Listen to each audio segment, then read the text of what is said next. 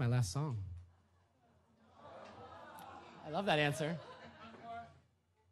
You know, every songwriter has a song. This one's an original. Uh, at least I think they do. I know I do. You know, I, when I wrote this song, it was in a really dark place in my life.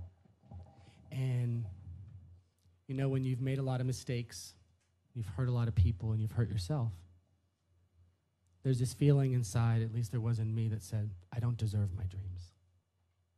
I've ruined it.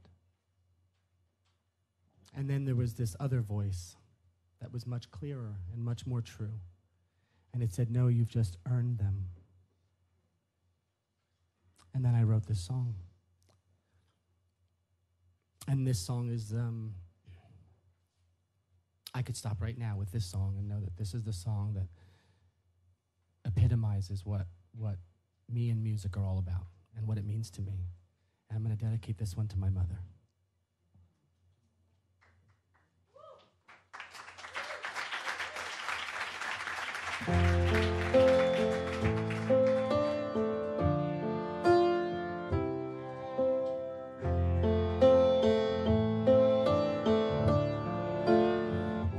It's funny thought I knew the truth. I thought that I was all I could be. But now I see and suddenly believe in every dream. I was too scared to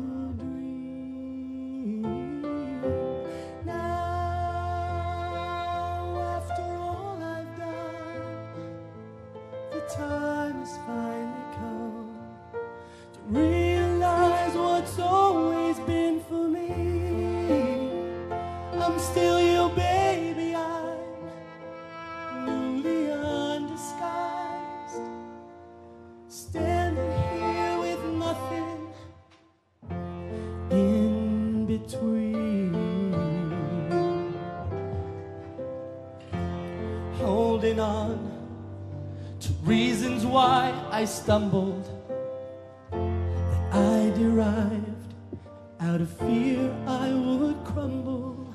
If I even tried in hopes that I might find what I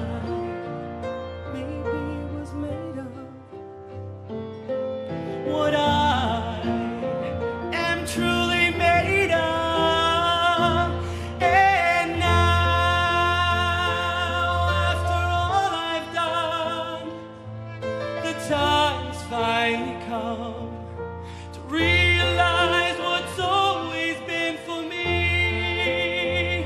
I'm still your baby, I'm newly undisguised, standing here with nothing in between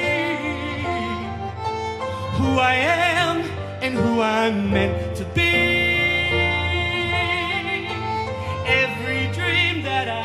forgot to dream, all of me for all the world to see. Now,